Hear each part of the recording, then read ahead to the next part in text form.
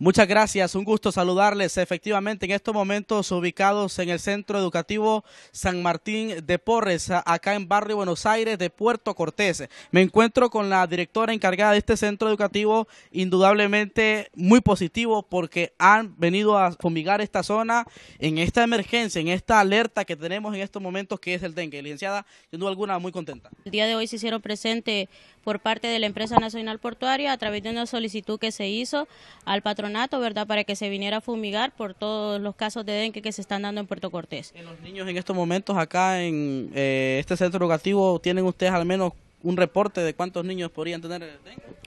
Sí tenemos un reporte que han tenido, eh, en promedio más de 20 alumnos se han retirado por semanas porque han estado con dengue y, y ahorita tenemos como unos 15 casos todavía muy importante porque aquí en esta zona vemos bastantes solares baldíos, Sí, hay bastantes solares baldíos que nos los mandan a chapear. También eh, donde viven los niños, a veces los padres no, no se preocupan, ¿verdad?, por limpiar las zonas y pues es donde se están dando más los casos. Ustedes como docentes sin duda tratan de instar a los jóvenes que lleven ese, ese mensaje a casa.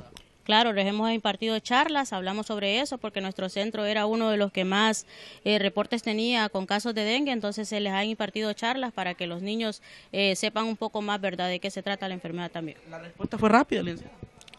Eh, de la empresa nacional portuaria, sí, rápido. Dos días se tarda. Sin duda, en estos momentos vemos que ha despachado usted los niños, obviamente, por el tema del... Sí, el, el llamado que recibí ayer fue que despachara a los niños porque el, el veneno que que cómo se llama, que ellos riegan, pues tiene una duración de dos horas. Entonces me dijeron que la jornada de la mañana pues no tenía que tener clases, entonces por eso se despacharon. ¿Cuántos elementos andaban? Tres. Muy bien, eh, sin duda agradecer a la...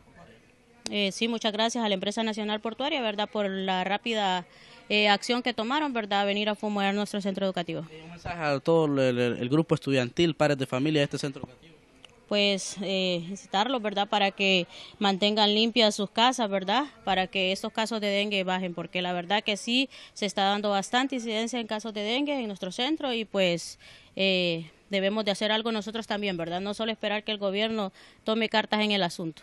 Muchas gracias. ¿Su nombre?